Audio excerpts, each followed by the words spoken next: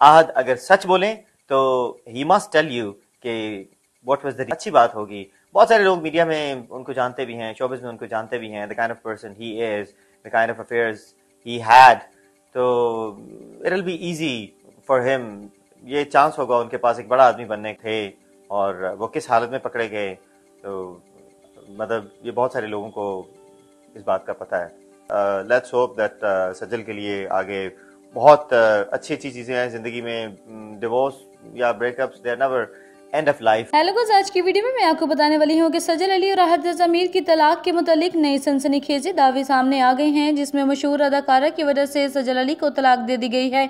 इस अदाकारा का नाम वाज तौर पर सामने आ गया है। सबसे पहले चैनल को सब्सक्राइब कर दे बेलाइकन को प्रेस कर दे। दोस्तों, जैसे कि आप सब जानते हैं कि रिसेंटली हज़रत अमीर ने सजल अली को तलाक दे दी है। सजल अली और हज़रत अमीर ने हमेशा हमेशा के लिए अपनी राहें जुदा कर ली हैं, जिसका कारण सामने नहीं आ रहा है। दोस्तों, यहाँ मैं आपको बताते चलूँ कि तमाम तर लोगों के अंदाजे यहाँ पे सच साबित हुए हैं कि आदर ज़मीर की ही गलती है और इनके बेस्ट फ्रेंड ने ये हकीकत बता दी है कि आदर ज़मीर एक ऐसी घनौनी हरकत करते हुए पकड़े गए जिसके बारे में बयान करना भी बहुत ही ज़्यादा शर्म की बात है। दोस्तों, जैसे कि आप सब जानते हैं कि हाल ही में सोशल मीडिया पे राजा मतलूब की एक वीडियो बहुत ही तेज़ी से गर्दिश कर रही है, जिसमें वो कई किस्म के दावे करते हुए दिखाई दे रहे हैं। राजा मतलूब ने हज़रत अमीर को बेनकाब करते हुए कहा कि वो एक्ट्रेस के साथ किस हालत में पकड़े गए हैं। इस बात का तो सबको ही पता है। सोशल मीडिया इस वक्त सजल अली की ही हमायत कर रही हैं। राजा मतलूब किसी से भी नहीं डरे हैं। उन्होंने हज़रत अमीर की हकीकत सबके सामने ला के रख दी है, लेकिन उन्होंने उस एक्ट्रेस का नाम नहीं बताया था। बस उनका यही कहना था कि वे एक सुपरस्टार हैं।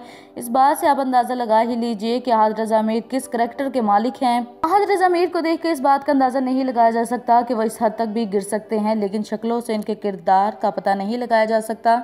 अहद अमीर के काफ़ी ज़्यादा फेयर सामने आ रहे थे। लोग इस बारे में बातें कर रहे थे कि अहद अमीर के बहुत से एक्ट्रेसेस के साथ ताल्लुकात बहाल हो रहे हैं। हाल ही में जब अहद रजा मीर ने रमशा खान के साथ भी काम करना शुरू किया था तो सज्जल अली के साथ इनके काफ़ी ज़्यादा इख्तलाफा बढ़ते जा रहे थे। दोस्तों, मैं आपको बताते चलूँ की राजा मतलूब जिस एक्ट्रेस के बारे में बात कर रहे थे और उन्होंने इस एक्ट्रेस का नाम नहीं लिया था, उनका नाम है हानिया आमिर, जिनका कॉन्ट्रोवर्सी क्वीन भी कहा जाता है। आए दिन हानिया आमिर का कोई ना कोई स्कैंडल सामने आ जाता है, जिसकी वजह से लोग इन्हें तनकीद करते हैं। लोग हानिया आमिर को बहुत ही बुरा वाला कहते हैं और उनको कहते हैं कि ये करेक्टरलेस हैं। इसी के साथ साथ तमाम तर लोगों का यही कहना है कि हानिया आमिर ही वही सुपरस्टार हो सकती हैं, जो इस तरह की घनौनी हरकत कर सकती हैं। हानिया आमिर ने हज़रत जमीर के साथ काफ़ी ज़्यादा बोल्ड फोटोशूट करवाया था जिसपे भी तमाम तर लोगों ने काफ़ी एतराजात किए थे। लेकिन दोस्तों, इस बात में कितनी सच्चाई है, कितनी नहीं, ये बात तो अल्लाह तला से बेहतर और कोई भी नहीं जानता है। हो सकता है हानिया आमिर को कंट्रोवर्सी क्वीन कहा जाता है हर स्कैंडल में हानिया आमिर का ही नाम लिया जाता है। तो लोगों ने यही सोचा होगा